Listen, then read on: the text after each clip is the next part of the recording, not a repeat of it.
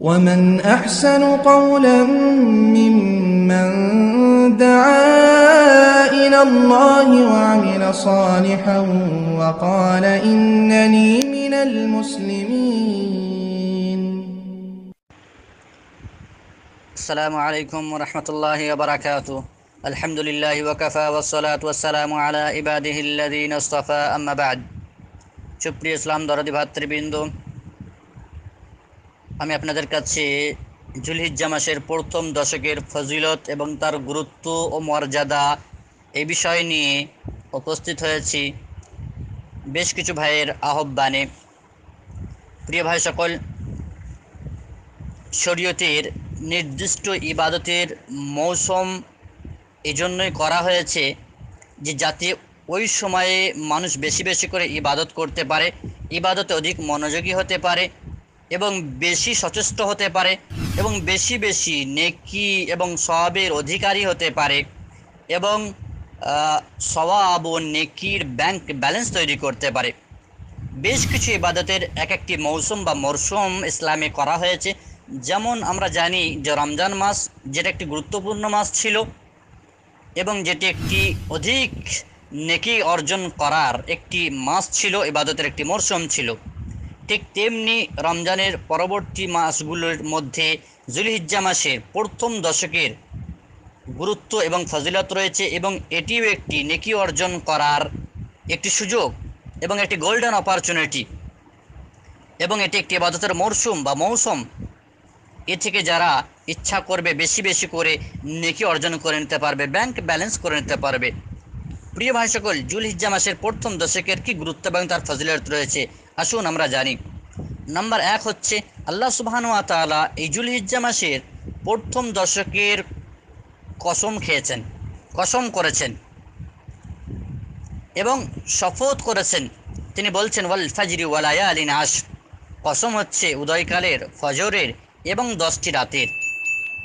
এই দশটি রাত থেকে ইবনে আব্বাস রাজিয়াল্লাহু ইবনে জুবাইর রাজিয়াল্লাহু এবং অধিকাংশের মতে জুলহিজ্জার দশ দিনকে বোঝানো হয়েছে। ইমাম ইবনে কাসির রহমাউল্লাহ বলেন যে এটি হচ্ছে সঠিক।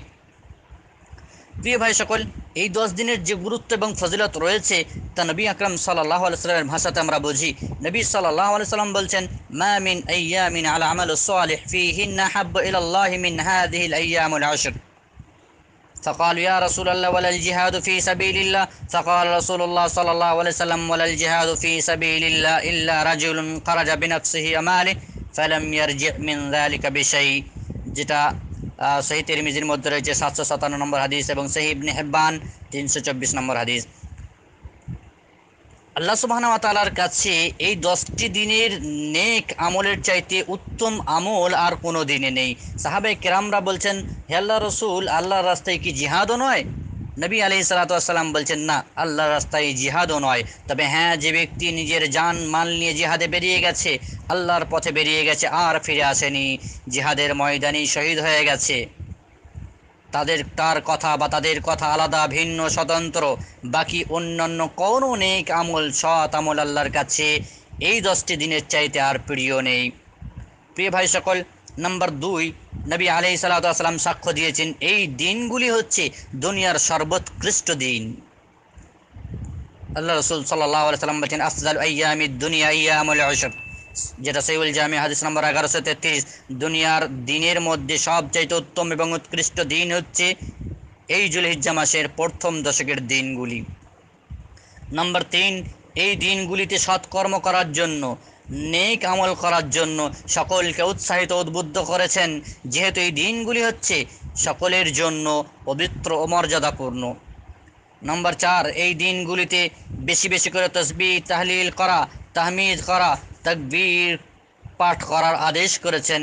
আল্লাহ সুবহান ওয়া তাআলা বলছেন ওয়াজকুরুসমাল্লাহি আলাইহি ফি আইয়ামিন মা'লুমাতিন আলা মা রাযাকাহুম মিন বাহিমাতিল আনআম, যেটা সূরা হাজ আয়াত নম্বর 28 যে আল্লাহ সুবহান ওয়া তাআলা যে নির্দিষ্ট দিন দিয়েছেন, সেই দিনগুলিতে তারা যেন আল্লাহর নাম উচ্চারণ করে, তাদের নাম উচ্চারণ করে, তাদেরকে যে পশু রুজি বা রিজিক হিসেবে দান করা হয়েছে, তার উপরে পাঠ করে।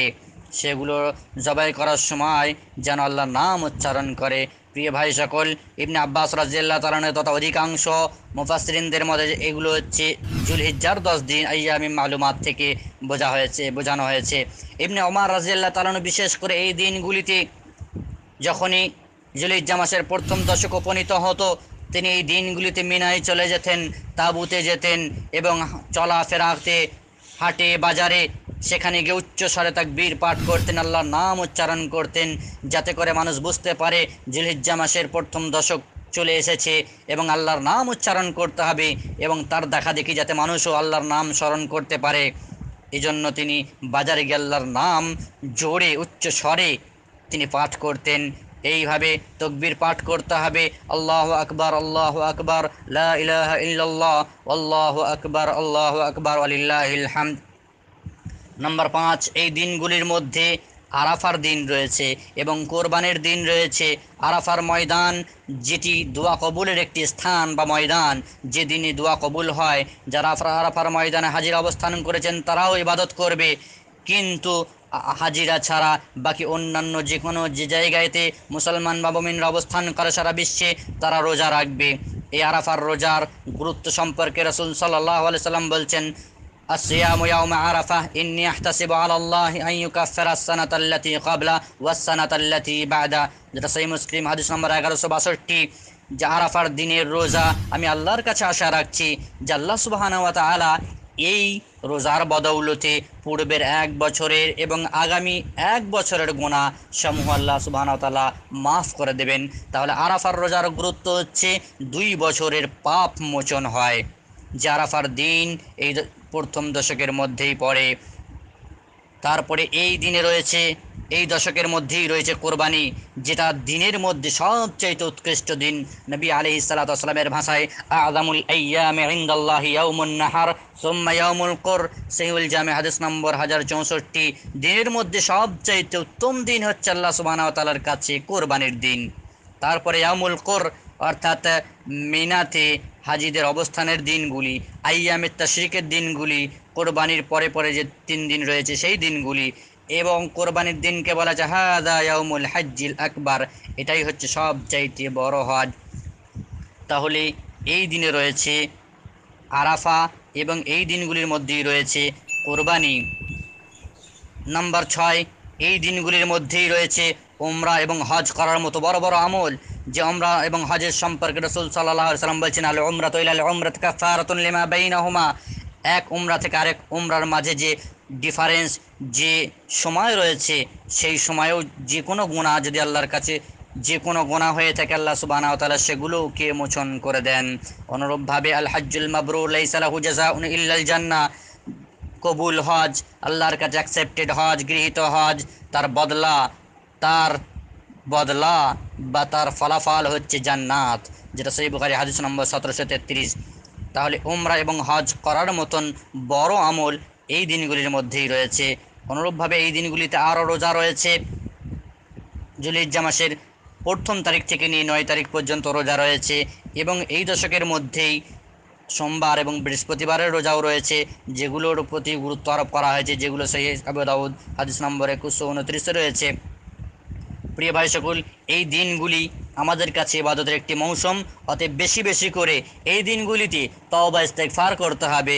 অধিক অধিক তসবি তাহলিলকু পাঠ করতে হবে, তকবীর পাঠ করতে হবে, এবং বেশি বেশি করে কোরআন তেলাওয়াত তথা আরও সৎ আমল, নেক আমল দিয়ে এই মৌসুমের ফায়দা উঠাতে হবে। এই মৌসুম থেকে ফায়দা উঠিয়ে নেকিগুলো আমরা যাতে ব্যাংক ব্যালেন্স করতে পারি স্টক করে নিতে পারি, যা আমাদের পরবর্তীতে কাজে লাগবে, সেটা জন্য আমাদের সকলকে সচেষ্ট হওয়া দরকার। হাফেদ ইবনে হাজার রহমাউল্লাহ যিনি বিখ্যাত কালজয়ী গ্রন্থ সেই বুখারের ভাষ্যকার ফাতুল বাড়ির রচয়িতা। তিনি বলছেন যে একথা সুস্পষ্ট যে জুলহিজ্জা মাসের প্রথম দশকের ফজিলত বা তার গুরুত্ব বিশেষ কারণ হচ্ছে এই যে এই দিনগুলিতে ইসলামের মৌলিক ইবাদতগুলোর একত্রিত হয়েছে।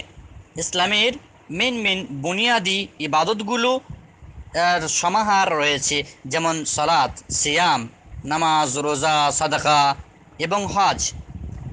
নামাজ, রোজা যেমন অন্যান্য মাসে বা অন্যান্য দিনে করা যায়, এই দিনেও করা যায়। ঠিক তেমনি সদকা অন্যান্য দিনে করা যায়, এই দিনে করা যায়। তৌহিদ অন্যান্য দিনের সকল দিনে রয়েছে, ঠিক তেমনি তৌহিদ, একত্ববাদ, আল্লাহর একত্ববাদের স্বীকারোক্তি দেওয়া, এই মাসেও করা যায়। এই মাসেও স্বীকারোক্তি দেওয়া হয়। তারপরে জাকাত অন্য মাসে দেওয়া হয়, এই মাসেও দেওয়া হয়। কিন্তু হজ অন্য মাসে করা সম্ভব নয়। যা এই মাসেই করা সম্ভব কেবল।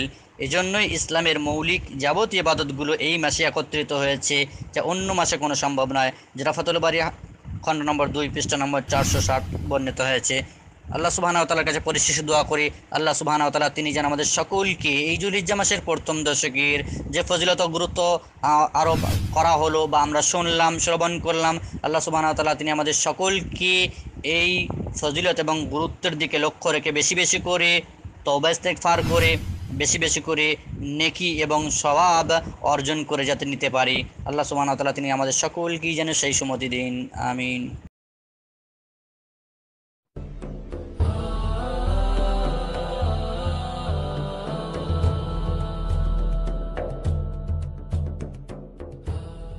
أشرقت نفسي بنور من فؤادي حينما رددت يا رب العباد